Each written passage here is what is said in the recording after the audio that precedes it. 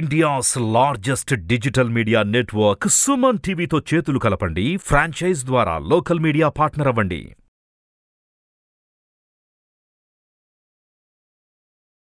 నమస్కారం గురుగారు. నమస్కారం.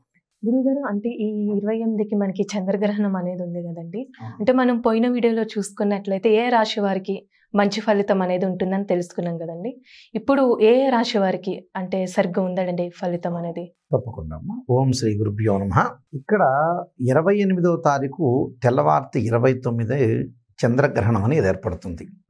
అంటే ఆశ్వీజ మాసంలో పౌర్ణమి రోజున అశ్వనీ నక్షత్రయుక్త ఖండగ్రాస పాక్షిక రాహుగ్రస్త చంద్రగ్రహణం అనేది ఏర్పడుతుంది. అంటే పాక్షిక చంద్రగ్రహణం అంటారు. అంటే మనకి పార్షల్ లూనార్ ఎక్లిప్స్ అంటారు. అంటే పాక్షిక చంద్రగ్రహణం అంటారు. సహజంగా మన ఖగోళ శాస్త్రం ప్రకారంగా సూర్యుడు చంద్రుడు మధ్యలో భూమి వస్తే చంద్రుడు రాహు దగ్గర కానీ కేతువు దగ్గర కానీ ఉంటే చంద్రగ్రహణం అనేది ఏర్పడుతుంది. ఇక్కడ అంటే ఇక్కడ చంద్రుడు పూర్తిగా కనిపించకపోవటం అనేది జరుగుతుంటుంది. కొంత కనపడటం అనేది జరుగుతుంది. అంటే పాక్షికం అంటే కొంత ఉన్నట్టు అర్థం. పూర్తిగా కనపడకపోతే మనకి సంపూర్ణ చంద్రగ్రహణం అని అర్థం. ఇక్కడ ఏర్పడుతున్నది ఏమిటి అని అంటే శనివారం రాత్రి తెల్లవారితే ఆదివారం ఒంటి గంట ఆరు నిమిషాల నుంచి రెండు గంటల ముప్పై రెండు నిమిషాల వరకు కూడా మనకి చంద్రగ్రహణము స్పర్శ మోక్షకాలము ఆధ్యాంత పుణ్యకాలం అంటారు. అలా ఏర్పడుతుంది. అంటే దాదాపుగా మనకి ఒంటి గంట ఆరు నిమిషాల నుంచి కరెక్ట్గా రెండు గంటల ముప్పై రెండు నిమిషాల వరకు ఉంటుంది. అంటే గంట ఇరవై ఆరు నిమిషాల కాలం అనేది ఈ గ్రహణం అనేది ఉంటుంది. రాత్రిపూట ఏర్పడుతుంది. ఇక్కడ ఏదైనా సరే సూర్యుడు ఇక్కడ భూమి చంద్రుడు ఒకే స్ట్రైట్ లైన్ మీద వస్తారు. స్ట్రైట్ లైన్ మీద వచ్చినప్పుడు చంద్రుడు రాహు దగ్గర కానీ కేతువు దగ్గర కానీ ఉంటేనే ఇక్కడ మనకి లూనార్ ఎక్లిప్స్ అనేది ఏర్పడుతుంది. సహజంగా గ్రహణాలు వస్తూనే ఉంటాయి. అంటే ఏ రాసుల వాళ్ళకి మంచిగా ఉంటుంది ఏ రాసుల వాళ్ళకి చెడ్డగా ఉంటుంది అనేది మనం చూడాలి ఇక్కడ ఇక్కడ పోయిన వీడియోలో ఎవరికి బాగుంటుందో మనం చూసాం తెలుసుకున్నాం. నెక్స్ట్ వచ్చేటప్పుడు ఎవరికి బాగలేదు? మరి అశ్వని నక్షత్రంలో మేషరాశిలో చంద్రగ్రహణం అనేది ఏర్పడింది. అంటే ఒకటి రెండు నాలుగు ఎనిమిది స్థానాల వాళ్ళకి దోషం కలుగుతుందని అర్థం. అంటే ఒకటో స్థానం ఇది మేషరాశిలో ఏర్పడింది కాబట్టి మేషరాశిలో ఉన్న వాళ్ళకి గ్రహణ దోషం ఏర్పడుతుంది అని అర్థం. అంటే మేషరాశిలో మూడు నక్షత్రాల వాళ్ళకి గ్రహణ దోషం ఉన్నట్టే అర్థం. అంటే అశ్వని భరణి అలానే కృత్తికా పాదం ఒకటో పాదం కలిపి మేషరాశి అవుతుంది. అంటే ముగ్గురికి కూడా దోషం ఉన్నట్టే అర్థం. అది ఒకటో స్థానం అంటారు. అలానే మనకి దాన్ని ఒకటో స్థానంగా మనం లెక్కేస్తాం. మరి ఎవరికి మిగతా వాళ్ళకి మేషరాశి కాకుండా ఎవరికి బాగుండదు అనేది మనం చూస్తే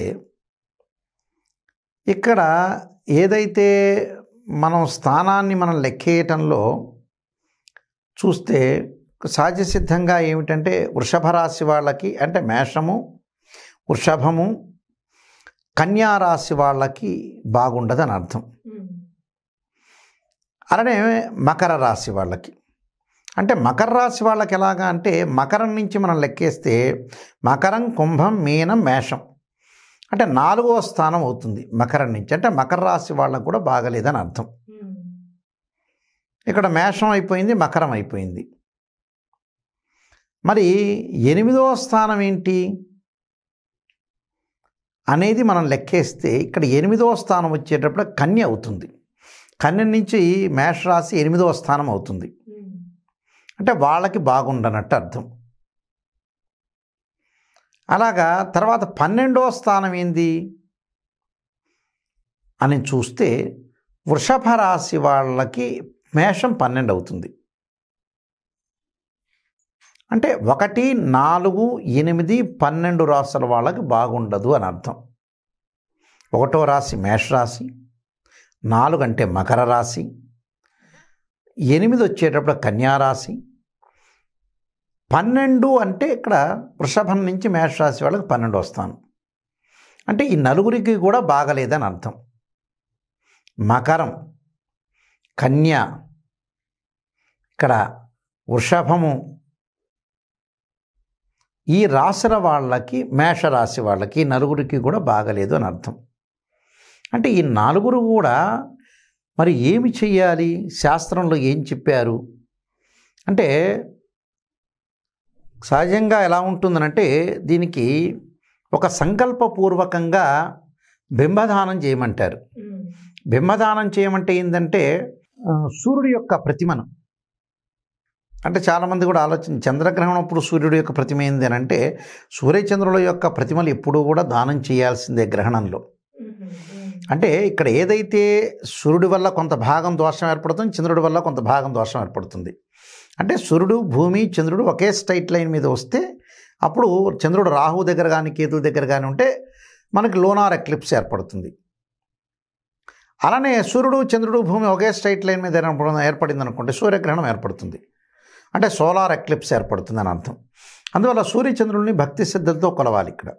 అందువల్ల సూర్యుడిని అలానే ఒక సర్పాన్ని ఒక నాగాడు పడిగని బంగారంతో చేసింది దానం చేయమంటారు.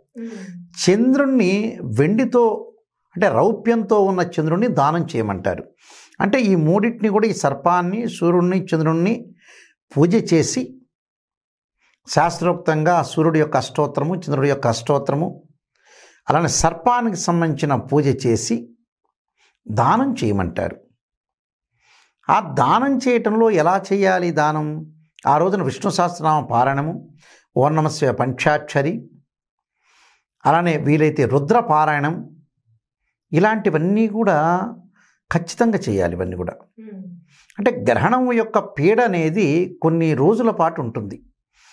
అంటే ఒక ఆరు నెలల పాటు గ్రహణ పీడ అనేది ఉంటుంది కాబట్టి ఆ పీడను తొలగించుకోవడానికి దానము ధర్మము అలానే మిలుములు ఉలవలు అలానే గోధుమలు బియ్యము లేక వడ్లు దానం చేయమంటారు. ఎలా సంకల్పపూర్వకంగా మాత్రమే దానం చేయమంటారు? సంకల్పపూర్వకంగా ఎలా చెప్పారంటే మమ జన్మరాశి జన్మ నక్షత్ర వచ వశాత్ చతుర్థ అరిష్టస్థాన స్థిత గ్రహణ సూచిత సర్వారిష్ట శాంతిపూర్వక ఏకాదశ స్థాన శుభఫల వ్యాప్యర్థం అని చెప్పారు.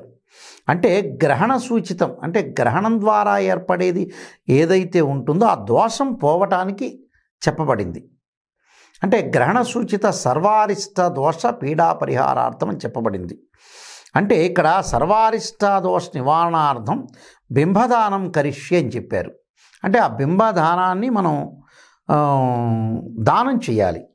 అంటే మహావిష్ణు స్వరూపస్య బ్రాహ్మణస్య ఇదమాసనం ఇదం అర్ఘ్యం అని మంత్రపూర్వకంగా ఆచమనం చేసి అంటే ఆచమ్య ప్రాణాయమ్య అని చేసి ఏదే ఓ ఏదైనా సరే ఒక కేశవాయిస్వ నారాయణస్వ మాధవాయిస్వ గోవిందాయమ విష్ణువేనమ మసూదంతి విక్రమాన్ వామనాయనమ శ్రీధరాయనమైన మంత్రాన్ని చెప్పుకుంటూ సంకల్పం చెప్పు ఓం భూహు భూ ఓం స్వహ ఓం మహ అనే మంత్రాన్ని ఉచ్చరిస్తూ అంటే దైవీ గాయత్రి చంద్ర అని చెప్పుకుంటూ దైవీ గాయత్రి చంద్ర అని చెప్పుకుంటూ సంకల్పం అంటే మమ ఉపాత దుర్దక్షే ద్వారా శ్రీ పరమేశ్వర ప్రీత్యర్థం అనే మంత్రాన్ని చెప్పుకుంటూ ఆ సంకల్పంలో ఏ దిక్కులో శ్రీశైలానికి ఏ దిక్కులో ఉన్నామో చెప్పుకుంటూ ఆ మాసము ఆ సంవత్సరము మాసము ఆయనము ఋతువు తిథి వారము తోటి మనం సంకల్పపూర్వకంగా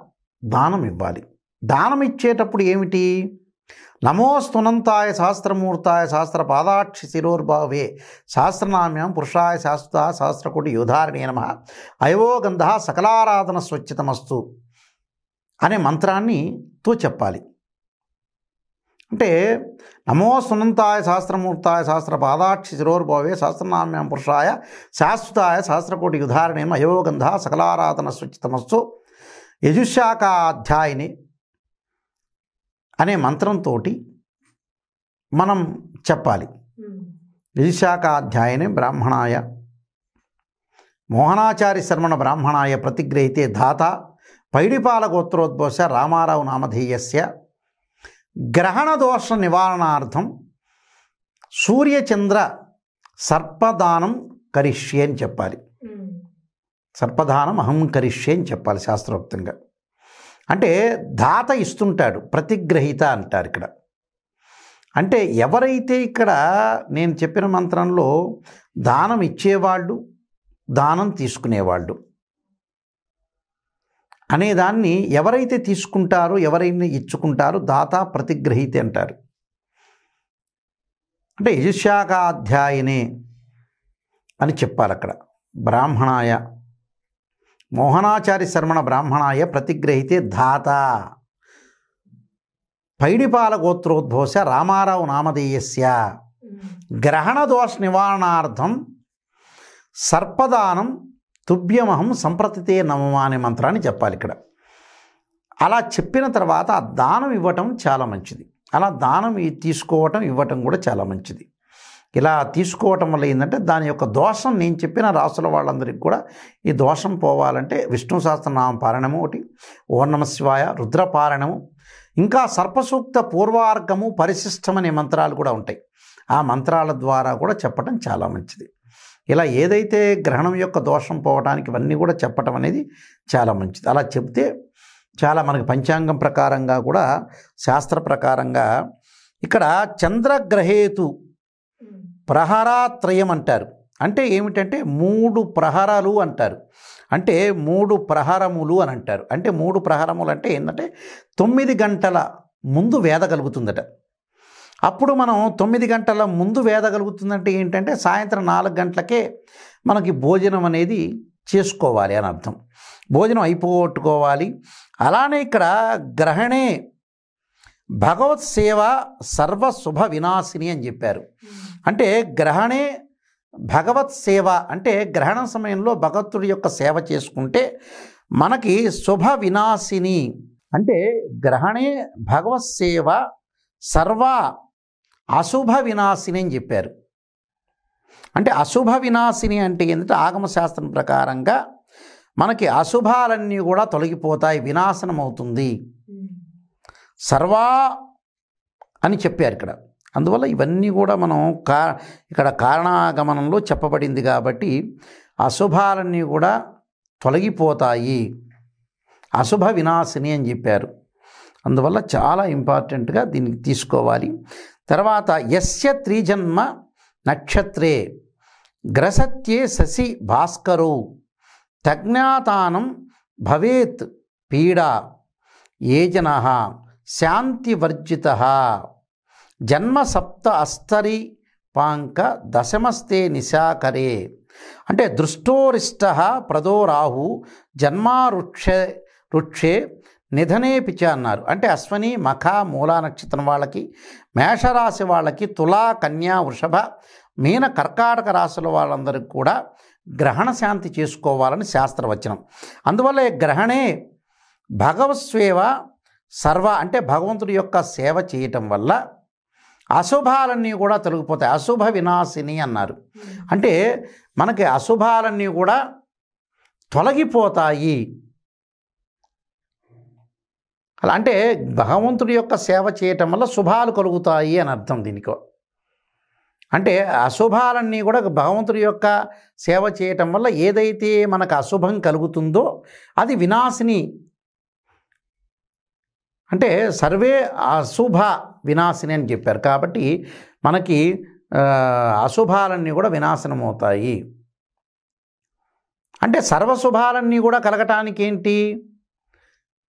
దేవుణ్ణి ఆరాధన చేయమంటాడు ఇక్కడ ఆగమశాస్త్రం అందువల్ల ఇవన్నీ కూడా చక్కగా పాటిస్తే చాలా మంచి జరిగే అవకాశం ఖచ్చితంగా ఉంటుందమ్మా.